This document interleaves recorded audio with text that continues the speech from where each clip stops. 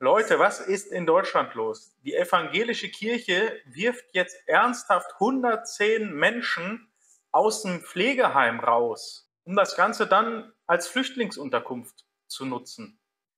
Was da genau los ist, schauen wir uns jetzt im Video an. Bleibt bis zum Ende dran, denn am Ende verrate ich euch, wie ihr aus der Kirche austreten könnt.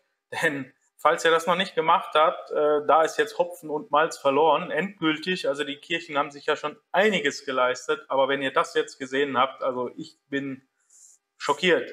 Denn eigentlich habe ich gedacht, hier nach Lörrach könnte eigentlich schon gar nichts Schlimmeres mehr kommen. Doch Lörrach ist ja auch in allen Munde, weil da die städtische Wohnbaugesellschaft die Mieter rausgeschmissen hat, um 30 Sozialwohnungen für Flüchtlinge hier freizukriegen. Aber wer jetzt gedacht hat, das kann nicht mehr getoppt werden und sagt sich, ja, okay, das ist ja eine staatliche Einrichtung und der Staat ist ja angeblich verpflichtet, Flüchtlingen äh, eine Unterkunft zu bieten. Ja, jetzt geht's den Schritt weiter und das Ganze hier nur ein paar Tage oder eine Woche später geht's hier in Berlin los. Der Fokus Online berichtet, Quellen und alles wie immer unten in der Videobeschreibung. Da werde ich euch das alles verlinken. Hier die Artikel könnt ihr selber nochmal gucken. Ich will da jetzt auch gar nicht den Artikel komplett mit euch durchgehen, weil das Thema ist heftig. Also ich hätte, ich habe da Redebedarf. Ich weiß nicht, wie es euch da geht, aber ähm, ich versuche es so kurz wie möglich zu halten. Auf jeden Fall, hier sehen wir äh, dieses Senioren-Altenpflegeheim. Ist auch ein bisschen kompliziert, da diese kirchlichen Verpflichtungen, äh, Verflechtungen aber ich versuche es so einfach wie möglich zu erklären. Auf jeden Fall hier erstmal in Berlin ist 110 Bewohnern eines Altenpflegeheims überraschend gekündigt worden. So überrascht ist es eigentlich gar nicht. Läuft da auch schon länger. Ist natürlich in der offiziellen Presse natürlich nicht behandelt worden. Ein Wunder, dass es jetzt behandelt wird. Wahrscheinlich, weil die Stimmung aktuell so heftig ist, dass man das vielleicht schon gar nicht mehr verschweigen kann. Ja, also, äh, dass die Leute da umgehalten werden, kann ich gut verstehen. Also ich meine, mich betrifft es jetzt persönlich nicht, aber wie da mit alten Menschen umgegangen wird, ja, äh, das ist ja wohl die, die Krönung äh, von Unmenschlichkeit quasi. Ja, auf jeden Fall hier auch direkt in der Überschrift pikant, in dem Gebäude werden nun Flüchtlinge untergebracht, was wegen öffentlicher Zuschüsse viel lukrativer als Altenpflege sei. So, wo in, in dem Fall Lörrach ja der Staat noch hingeht und sagt, ja, wir haben ja eine Verpflichtung, wir müssen die ja unterbringen, ja, sind da gesetzlich zu verpflichtet, obwohl bei anderen Dingen, wenn es dem Staat passt, ändert der ratzfatz die Gesetze, meist zum Nachteil ähm, der schon länger hier Lebenden. Äh, ja, hier in dem Fall ist das wohl keine Option, die Gesetze so ein bisschen zu ändern. Nein, da setzt man lieber die Bürger in Lörrach auf, auf die Straße um dann die Wohnungen anderweitig für die Flüchtlinge zu nutzen. In Berlin haben wir einen ganz anderen Fall. Das ist kein staatliches Unternehmen. Das ist eine Kirche, geht da um zwei verschiedene Stifte. Und die sind jetzt gesetzlich nicht verpflichtet, diese Flüchtlinge unterzubringen. Nein, da geht es um finanzielle Gründe. Es ist viel lukrativer dafür, die evangelische Kirche die Flüchtlinge unterzubringen in diesem äh, Heim, als die Altenpflege da weiter zu betreiben. Ja? Und da wird es gefährlich. Denn jetzt will ich einmal kurz abschweifen. Äh, auch aktuell wollte ich auch eigentlich schon ein Video zu machen, bin ich leider nicht so gekommen. Hier, die gute Katja Diel hat ja gesagt, wir nehmen den Deutschen den Traum vom eigenen Auto und vom Eigenheim. Ja, so. Es ist ja jetzt der Sprung da leicht hinzu gemacht. Habe ich kein Eigenheim, ja, und bin irgendwo als Mieter, entweder in Lörrach bei der städtischen Wohnbaugesellschaft, werde gekündigt, stehe auf der Straße oder ich sitze in einem Altenpflegeheim in Berlin bei einer evangelischen Kirche und werde gekündigt, weil halt das lukrativer ist, Flüchtlinge unterzubringen. So, jetzt haben, das ist ein Riesenproblem, weil jetzt ist es einmal die städtischen Wohnbaugesellschaften sagen, naja, wir halt sind verpflichtet, die unterzubringen.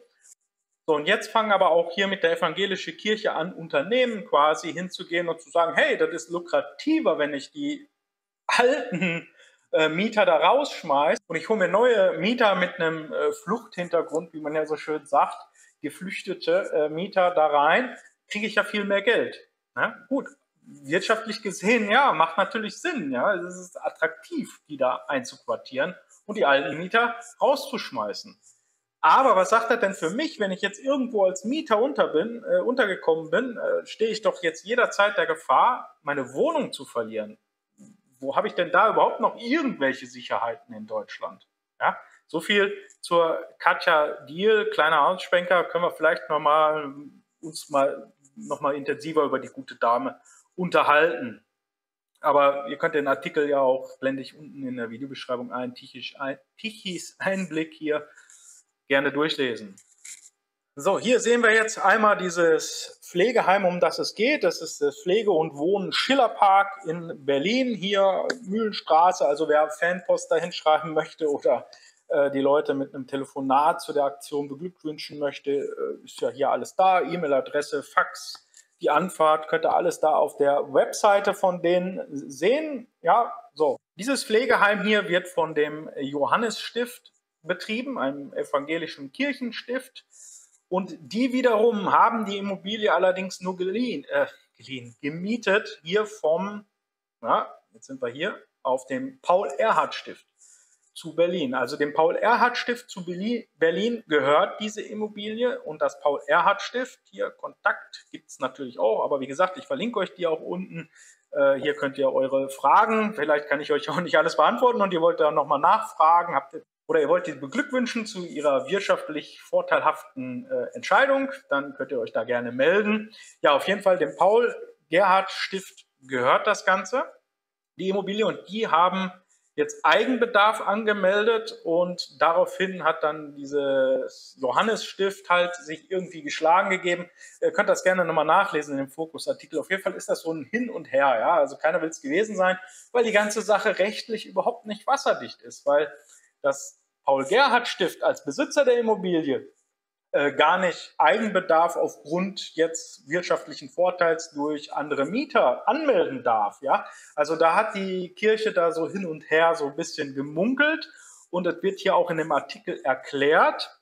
Hier wird dann erstmal erklärt, dass der Stiftsleiter Martin von Essen sich da so ein bisschen ausschweigt. Ja, Fokus hat da eine Anfrage an den geschickt, der hat keine Antwort gegeben und dann weiter unten in diesem Abschnitt heißt es dann hier, in Kirchenkreisen gilt es allerdings als offenes Geheimnis, dass der Betrieb eines Flüchtlingsheims finanziell ungleich attraktiver ist als der eines Altenpflegeheims.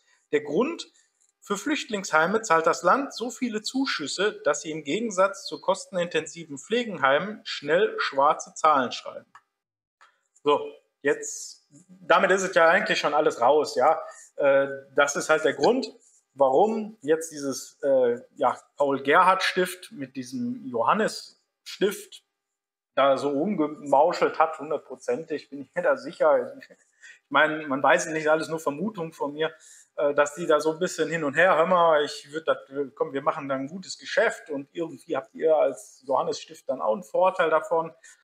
Langer Rede, kurzer Sinn. Die Dummen sind jetzt die 110 Heimbewohner, die jetzt da stehen und einen neuen Heimplatz brauchen, sucht doch mal einen Heimplatz. Also ich weiß das noch von meiner Großmutter, wo wir da einen Heimplatz gesucht haben. Äh, war eine Riesenrennerei, haben dann am Ende einen gefunden, zum Glück. Toi, toi, toi. Aber wenn man jetzt da auf einmal äh, wieder vor der Rennerei steht, ist ja auch nicht jeder Pflegeplatz gut. Ja, viele Heime haben ja auch einen schlechten Ruf. Also äh, die Pflege in Deutschland ist ja ein eigenes Thema für sich. Und dann steht man jetzt davor und muss wieder einen neuen Platz suchen und man konkurriert da gerade mit 110 weiteren Leuten, ja, dann kommt dazu, man kann ja auch nicht irgendein Pflegeheim in Berlin ist groß. Ja, ich will ja meine Angehörigen in meiner Nähe haben, damit ich auch, wenn was ist, da schnell hinkomme. Oder wenn ich die besuchen möchte, ich, ich will ja nicht jedes Mal durch Berlin reisen. Ja, also das ist auch ein Riesenproblem, was da jetzt für die Angehörigen ist. Dann kommt noch hinzu, da gab es auch einen ambulanten Pflegedienst, der ist mittlerweile schon geschlossen, so wie ich das hier aus dem Artikel entnommen habe. Das heißt, da stehen auch Leute jetzt auf der Straße, können nicht mehr arbeiten gehen. Ähm, ja, dementsprechend sieht das übel aus. Delikat zu erwähnen ist noch, dass hier äh, dieser Martin von Essen eine Stellungnahme abgegeben hatte, früher irgendwann, also auf die Fokusanfrage hat er ja nicht geantwortet, aber kurz vor Ende der Stellungnahme hebt der Pfarrer und Stiftsvorsteher eine jahrzehntelange Erfahrung in der Geflüchtetenarbeit hervor und kündigt abschließend an, dass das Refugium des Stifts die Plätze für trau traumatisierte Schutzbedürftige ab Ende 2022, 2023 erweitern werde. So. Na, nur mal noch mal abschließend dazu, zu dem ganzen Hintergrund, den auch da dieses Stift und der Leiter auch haben. Ja. Im letzten Abschnitt wird noch so ein bisschen von einem Angehörigen eines der Mieter da erzählt.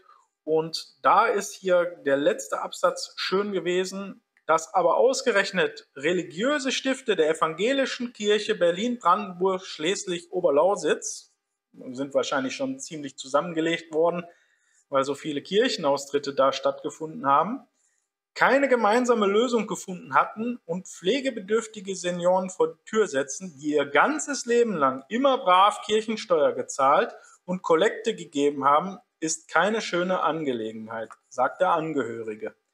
Ja, und so ein bisschen zum Fazit zu kommen, also das ist jetzt mal gar nicht christlich hier, was die evangelische Kirche sich da geleistet hat. Äh, ich werde auch noch mal ein Short-Video machen zu so einer Pastorin, die auch eine schöne Rede gehalten hat, auch eine evangelische Pastorin, die so ein bisschen eigentlich äh, die Schöpfung verleugnet, indem sie mehr als Mann und Frau anerkennt. Ja, also mache ich die Tage mal. Ja, das Fazit aus der ganzen Sache ist, es ist überhaupt nicht mehr christlich, was die äh, evangelische Kirche da macht. Und ich möchte äh, mal behaupten, die katholische Kirche wird da nicht besser sein.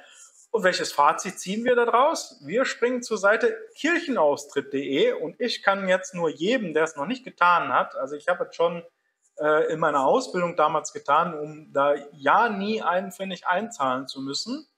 Deswegen springen wir auf die Seite kirchenaustritt.de und hier bekommt ihr eigentlich alle Informationen, die ihr braucht, um äh, aus der Kirche auszutreten. Ich kann da gerne auch mal irgendwie noch mal ein separates Video zu machen, so trittst du aus der Kirche aus oder so, weil kann ich nur jedem ans Herz legen. Also hier ein bisschen weiter unten sieht man ja auch, äh, der Trend geht zum Kirchenaustritt. Also das ist jetzt zwar die katholische Kirche hier und von 1990 bis 2021 hier mal die Kirchenaustritte jährlich aufgezeichnet also schießt rasant in die Höhe. Ich meine, was die Kirchen sich die letzten Jahre alle so auch rausgenommen haben, geht ja auf keine Kuhhaut mehr. Das hat ja mit christlich schon nichts mehr zu tun.